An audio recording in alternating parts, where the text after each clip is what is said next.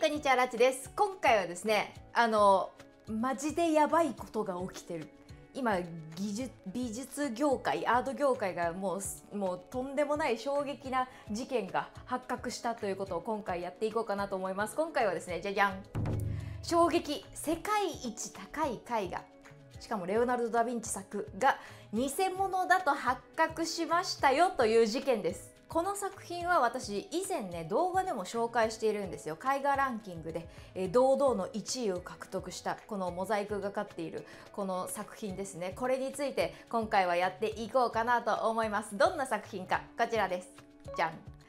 はいレオナルド・ダ・ヴィンチ作とされていたサルバドール・ムンディ1500年頃に制作されていました。でもねずっと怪しい怪しいとは言われていたんです。レオナルドの作品って十数点しかないからその中で最高傑作って言ったらもうとんでもない歴史的事件なわけですよ。でもずっと疑われてたんです。さあこの絵どんな絵なのか今回ご紹介していきましてそして今回なぜ偽物と分かったかを、えー、話ししていきます。ポイントは3つです、えー、1つ目に、まあ、まずこのサルバドール・ムンディどんな絵なのか。2つ目に何で疑われていたのか。そして3つ目偽物と発覚した、えー、この経緯をお話ししていきますのでどうぞ最後までよろしくお願いします。さてまずどんな絵なのかというのをねバーッとやっていきました。まずサルバドール・ムンディというのは救世主キリストの絵を描きましたよ。ルイ12世に依頼されて描かれたダ・ヴィンチ最後の作品とずっと言われていました。で、えー、ずっと持っていたのはイギリスの王室コレクションに記録されていたサルバドール・ムンディのこういうイエス様のこういう絵がねずっと王室にこう記録されていたよっていうことが、えー、記録に残っているそうで、えー、こういう絵だと説明をされていました。現代になってこのクリスティーズっていう最大のオークションハウスの一つであるクリスティーズで落札されたこの額が世界一約510億円だそうです前の動画では約520億と、えー、ご紹介していきましたがまあそれでもね世界最高の額なんですよ。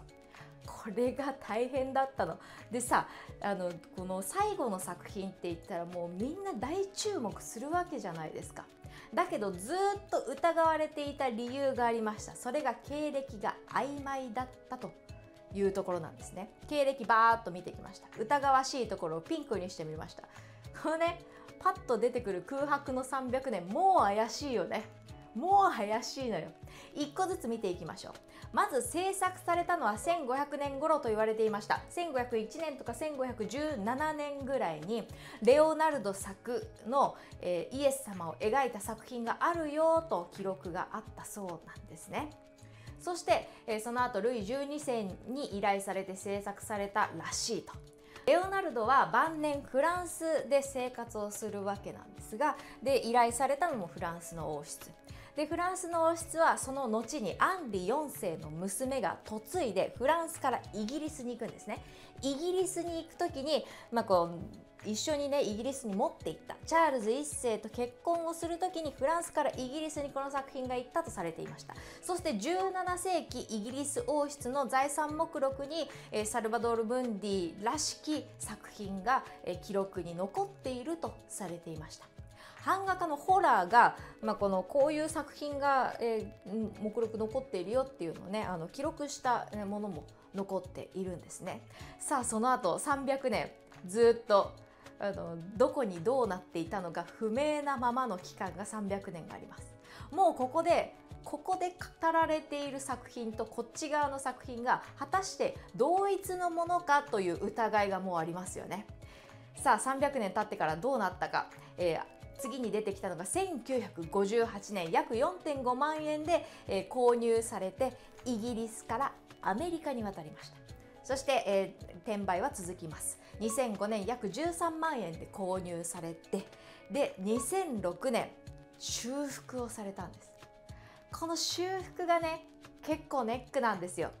実はこの修復の前の段階ってめちゃくちゃあの破損がひどかったんですって。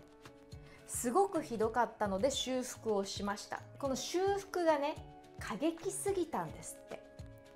そして2008年に研究者たちの調査によってこの修復後の作品が本物と結論付けられた。ということでした。以上の観点からこの本物と結論付けられた作品と、えー、この、えー、転売をされていた作品そしてもう300年以上前のこの話この記録に残っている作品が同じものなのかというのがどんどん曖昧になっていた。だからレオナルド最後の作品と言い切れないんじゃないかと言われていたんですね。さあこの後やっぱり違うよと、え、言われた、え、経緯をご紹介していきます。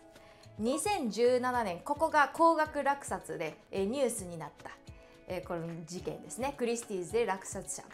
え、落札されました。510億円。この当時落札者不明とされていました。誰が落札したのかわからない状態だったんですね。ですが翌年これがアブダビ文化観光省に、えー、代表の方が落札したということが分かり、えルーブル・アブダビのために購入したんだよと言われていたんですが実際展示はされていなかったそうです。そして2019年ルーブル美術館フランスにあるルーブル美術館がダ・ヴィンチ没後500年記念展として、えー、開催をするんですがこのアブダビ文化観光省の代表の方はこのルーブル美術館に出品交渉をするんですって。だけどルーブルは展示を許しませんでした。実際展示はされませんでした。